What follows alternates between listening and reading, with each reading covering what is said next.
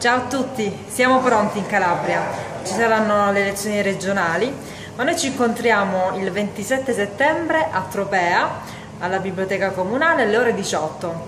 Vi aspettiamo per parlare dei risultati del Movimento 5 Stelle, delle battaglie fatte in Calabria, ci sarà con me Nicola Morra e anche Alessandro Di Battista. Quindi non potete che essere presenti, lo ripeto, il 27 settembre a Tropea in biblioteca, avrete modo di farci tutte le domande che vorrete porci perché è giusto che noi si dia conto di quello che facciamo. E se ce la fate portate anche de degli amici dei parenti scettici, se ognuno di voi riuscisse a portare due o tre persone saremmo tantissimi, i giornali ne parlerebbero e, e comunque sarebbe positivo per tutta la Calabria. E Ciao. comunque vinciamo noi. Vi aspettiamo. Ciao. Per chi non lo sapesse ricordo che Regolo denunciò con coraggio le pressioni subite per togliere dall'ora della Calabria la notizia scomoda di un'indagine a carico del, del figlio del senatore Tonino Gentile, allora fresco di nomina a sottosegretario delle infrastrutture del nuovo centrodestra, il partito dell'ignaro ministro dell'interno Angelina Alfano e del governatore della Calabria Giuseppe Scopelliti condannato per falso, dimissionario a giorni alterni eppure oggi candidato alle europee. In rete è diventata famosissima la grottesca telefonata dello stampatore De Rose che invitava il proprietario del giornale Alfredo Citrigno a liberarsi di quella notizia. Allora, per riassumere, decine di giovani giornalisti sfruttati per anni rischiano il posto di lavoro e il futuro a causa di uno squalido gioco di potere tra una parte politica e un pezzo dell'imprenditoria malata calabrese. Soprattutto l'informazione in Calabria deve essere davvero la, pro la protagonista di un'emancipazione sia dall'andrangheta che dalla cultura andranghetistica. Noi ci crediamo che sia questo il compito dell'informazione e che proprio dalla Calabria deve ripartire il senso e il ruolo eh, dell'informazione stessa. Il mondo dell'informazione è malato da tempo immemorabile in Calabria di una malattia che si chiama servilismo e che è anche peggio dell'adulazione, per cui anche quando non richiesto l'atto di abiezione è comunque posto in essere dallo stesso editore, dallo stesso giornalista, perché così vanno le cose. Quello che ho scritto ieri è un inno alla pace totale, totale, evidentemente è stato interpretato differentemente, ma funziona un po' così il sistema, funziona così chissà che tante persone quando vedono che è così violento l'attacco, perché stavolta per me, a me non mi è scivolato addosso, spesso certe cose, quando esattamente l'anno scorso dissi il PD è peggio del PDL, fuori ladri dal Parlamento, vennero molte persone di Forza Italia, alcuni a minacciarmi, alcuni mi dissero moralista del cazzo perché avevo detto fuori ladri, moralista del cazzo, uno mi disse di Battista non generalizzi, noi di Forza Italia non siamo tutti ladri, disse questa frase, ve lo giuro, ve lo giuro. Come, e allora gli disse onorevole mi dica chi lo è e chi non lo è e lui ha capito e se n'è andato. Però ecco, quella volta mi scivolo addosso, invece gli attacchi di, di quest'estate mi hanno fatto proprio male, a me e la mia famiglia, io chiamai mia mamma, lei in lacrime dicendo non sai che scrivono, che dicono, insomma ho capito che il sistema quando ti vuole, quando prova di, vuole provare a eliminarti, un tempo che ne so ti facevano fuori negli anni 70 proprio a pistolettate, utilizzando qualche delinquente, oggi utilizzano i media cioè ti fanno fuori così. Per citarne un'altra, ai fatti di Gaza è stato dato meno spazio di quanto la strage eh, avrebbe drammaticamente meritato e su questo anche eh, c'è stata interrogazione e risposta. E quindi questi sono uh, i motivi, alcuni dei motivi per cui abbiamo chiesto le sue dimissioni. Il Movimento 5 Stelle vuole eh, un'informazione che sia degna di questo nome, ormai lo ripetiamo da oltre un anno e mezzo, che sia obiettiva e che sia completa.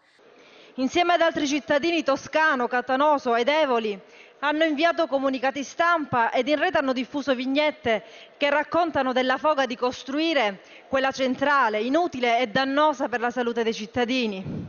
Il messaggio che sta dietro questa vicenda è sempre il solito, colpirne uno per colpirne altri cento, soffocare il dissenso e spaventare i comuni mortali. Nella società odierna queste azioni sono una vera e propria prova di muscoli, sfidare nei palazzi della giustizia le popolazioni in disaccordo. Il più forte ovviamente ha mezzi più potenti, quindi il tentativo è quello di piegare il più debole e di convincerlo che resistere non conviene. A questo punto la 6 SPA faccia una cosa, faccia causa anche a noi parlamentari del Movimento 5 Stelle che abbiamo interrogato il governo sulla centrale a carbone di Serine Ionica, lo faccia. Tra le vertenze da affrontare quella dei 131 lavoratori di Calabria It. Anche su questo la posizione è netta. Noi pretendiamo che il Presidente del Consiglio regionale Talarico si faccia garante di revocare i licenziamenti di 131 dipendenti di Calabria IT e che questi dipendenti vengano riassorbiti in Fincalabra così come prevede la stessa legge regionale. Dopodiché De Rose se ne deve andare a casa, bisogna procedere ad una nuova nomina con criteri di trasparenza pubblica eh, che, e que questo avvenga subito. Forse al Ministero dell'Interno nessuno sa chi è Ruello, lo so bene io che vengo dalla sua stessa provincia e grazie alla sua testimonianza e alle sue denunce eh, queste sue denunce hanno consentito la condanna di potenti esponenti della cosca eh, di Indrangheta del Vibonese per casi di usura avvenuti infatti con le modalità del 416 bis del codice penale. Una stabilizzazione cosiddetta per un solo anno è una finta soluzione dei problemi, che, che ne possano dire colleghi di altre formazioni politiche.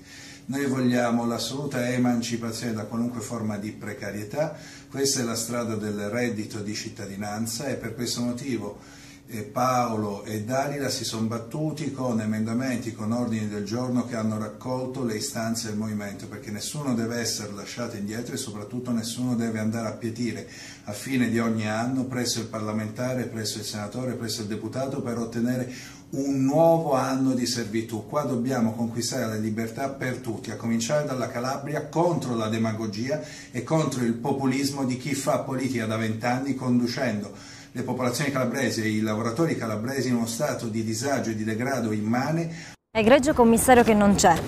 Avremmo voluto dirle di persona queste cose, ma non lo conosciamo perché lei non c'è.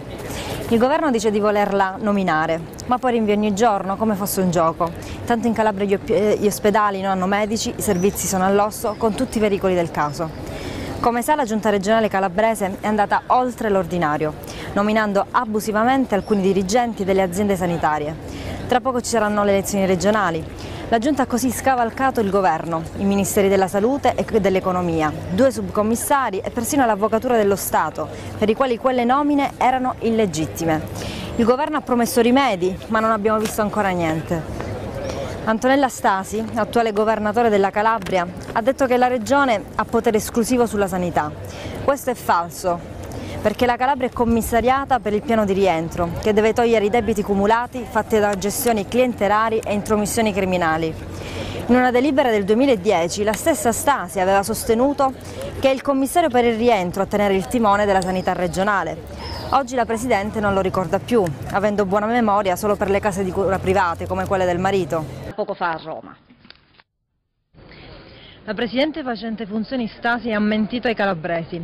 Ha detto che non esiste alcun atto ufficiale che impedisca a questa giunta di nominare dirigenti e commissari. Questo è falso, perché esistono ben due atti ufficiali. Il parere dell'Avvocatura dello Stato che scrive nero su bianco che questa giunta non può procedere con le nomine delle aziende sanitarie provinciali. Ed esiste anche un altro delibera, addirittura eh, firmata dalla stessa Stasi, che dice chiaramente che le nomine in materia sanitaria le fa il governo centrale. Io vengo trattato come se io fossi il criminale criminale essendo stato invece la vittima. Tenete in considerazione una cosa, che Banca d'Italia in tutta questa storia, da me sempre informata, fa finta di non capire e di non sentire, perché dico, guardate, scusate, vedete che la Banca d'Italia ha un compito istituzionale legato, datogli anche dalla tutela del mercato pubblico, che il, mercato, che il bene tutelato è il mercato creditizio, che è quello di vigilare e tutelare il bene pubblico e quindi i risparmiatori. Io ho detto a Banca d'Italia non vi ho mai visto fare entrare né dalla porta principale né da quella di servizio i risparmiatori. Voi avete sempre protetto e tutelato i banchieri che dovevano essere invece coloro i quali voi vigilavate affinché non rubassero. E sulla questione giustizia in un servizio andato in onda mercoledì 27 agosto abbiamo detto che i 5 Stelle non hanno partecipato agli incontri e non hanno neppure inviato un documento con le proprie posizioni al Ministero che pure lo aveva sollecitato. La deputata Dalila Nesci specifica che i rappresentanti del gruppo parlamentare 5 Stelle avevano incontrato per ben due volte il Ministro, il primo giugno sul tema dell'anticorruzione e il primo di agosto sul processo civile, penale e criminalità economica. Pertanto erano già state consegnate al Guardasigilli più proposte del Movimento in tema di riforma della giustizia. L'avviso di chiusura indagini per 36 persone, sindaci, dirigenti dell'Arpacal e della Sorical indagati a vario titolo per avvelenamento colposo di acqua, inadempimento di contratti di pubbliche forniture, omissione in atti d'ufficio e interruzione di un servizio di pubblica utilità. Le proteste dei cittadini, le interrogazioni parlamentari, un secondo filone di indagine della Procura di Vibo. Sono solo gli ultimi atti della vicenda che coinvolge l'invaso dell'Alaco, il bacino idrico che serve un'ottantina di comuni tra le province di Catanzaro e Vibo Valencia. Il movimento 5 Stelle punta nuovamente i riflettori su una vicenda che va avanti da anni dopo due interrogazioni parlamentari, la prima nell'aprile del 2013, la seconda solo tre mesi fa e lo fa convocando la stampa alla Mezia. Noi chiediamo che sia subito istituito un tavolo tecnico presso la prefettura di Vibo e di Catanzaro, eh, al quale chiediamo che partecipi un rappresentante del Ministero della Salute, eh, l'ISPRA, eh, i tecnici dell'ARPA non indagati e ovviamente le associazioni che sono eh, importantissime per uscire insomma, da questo stato emergenziale.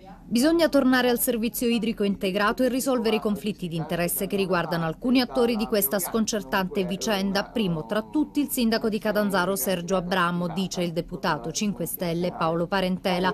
Per il senatore del movimento Nicola Morra in Calabria il diritto alla salute è stato calpestato per fare profitto una situazione che non possiamo più tollerare. Intanto l'invaso dell'ala, quell'impianto di potabilizzazione, restano sotto sequestro. La storia di questi palazzi ci insegna che il potere va avanti come vuole, pensando di poterlo fare senza limiti.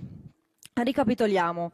Con fonte primaria il governo Monti, sostenuto dalla stessa maggioranza odierna, concesse al Ministero dell'Interno di adottare procedure concorsuali semplificate per risolvere le carenze di organico dei sovrintendenti della Polizia. Parliamo di migliaia di posti vacanti che potrebbero essere dati a migliaia di donne in attesa. La legge lo consente. E voi che cosa fate? State lì a bandire nuovi concorsi, a spendere altri milioni, a trovare giustificazioni impossibili. Sì, grazie Presidente. Innanzitutto le irregolarità rispetto al caso De Masi non sono presunte perché De Masi ha vinto in Cassazione.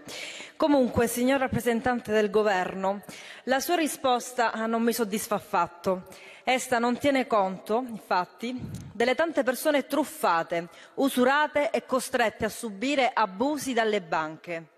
In secondo luogo, la sua risposta non considera a modo l'impunità di chi ha rubato denaro sfruttando commissioni bancarie equivoche, tassi da usura ben nascosti, giochi sulla data delle valute e altri raggiri d'alta scuola. Per ultimo, la sua risposta lascia aperto il libro bianco delle vittime, che da oggi hanno una certezza in più, oltre alla perdita del, dei loro averi e risparmi. Questa ennesima, dolorosa certezza è che lo Stato è forte con i deboli ed è debole con i forti. Qui voglio richiamare l'attenzione dell'Aula e del della Presidente Laura Boldrini, del Presidente del Senato Piero Grasso e del Ministro dell'Interno Angelino Alfano, già Ministro della Giustizia, rispetto all'annunciato inserimento in Commissione antimafia del senatore del PDL Antonio Stefano Caridi, questo indicato dal senatore Schifani, capogruppo dello stesso partito. In relazione in una relazione eh, riservata della DDA di Genova, indirizzata all'allora presidente della Commissione antimafia Giuseppe Pisano, è scritto, e questo lo ha eh, riportato il Fatto Quotidiano, che un'indagine in Liguria sul boss di 'ndrangheta Carmelo Gullace ha consentito di documentare il sostegno elettorale di esponenti della Cosca, anche con palesi intimidazioni, a favore di Caridi. Noi siamo comunque assolutamente convinti di dover impegnare tutte le nostre energie perché i cittadini tornino ad essere protagonisti delle nostre istituzioni.